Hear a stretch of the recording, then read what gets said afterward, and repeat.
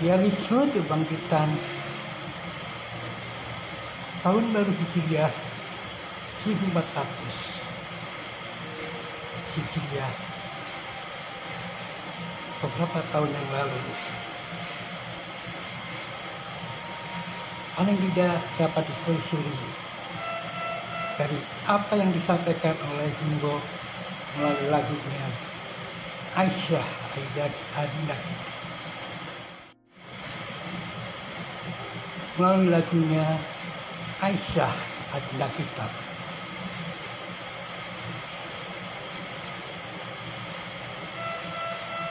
Aisyah Adinda kita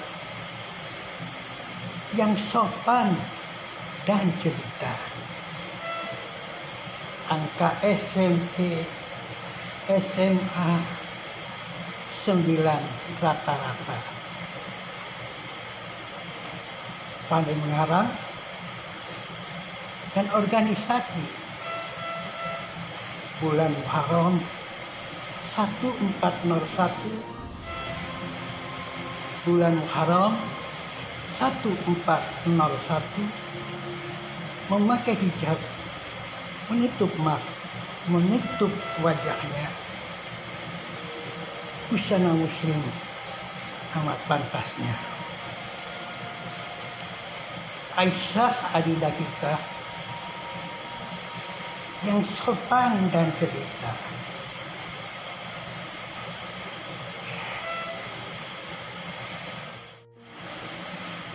Aisyah adalah kita yang sopan dan cerita. Indeks prestasi setinggi tiga tahun lamanya. Calon insinyur dan bintang di kampus. Bulan Muharram satu empat nol empat. Tetap berhijrah bulan Muharram 1404 tetap berhijrah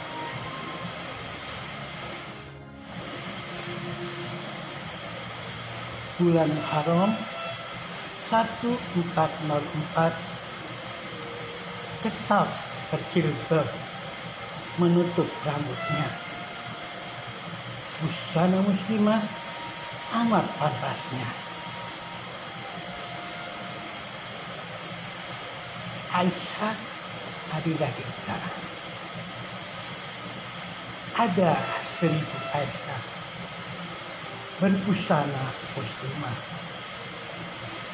Ada sejuta Asia ada sejuta Aisyah berbusana muslimah. Aisyah, Aisyah adalah kita. Dia hanya memberi contoh saja. Itulah yang saya sebut sebagai idealisme keteladanan di dalam membangkitkan spirit hijrah, spirit bermuslimah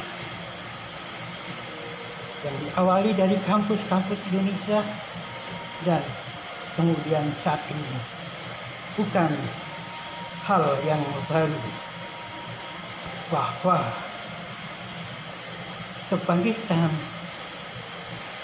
Islam Indonesia tahun Hijriah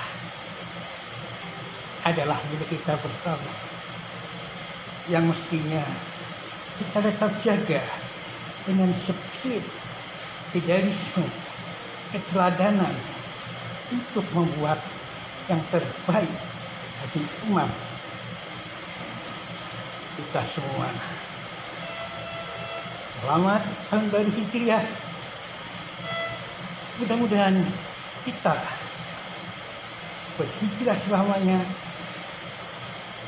dalam hijrah yang benar-benar menuju surga Allah Subhanahu wa taala.